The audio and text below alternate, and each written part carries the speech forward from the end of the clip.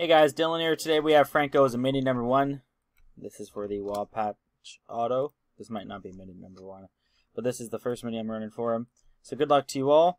Fred after one, Fred after two. Top three will win. First place will be getting two spots. Second, third each getting one at nine o'clock. Doesn't matter, Steve. You're getting all.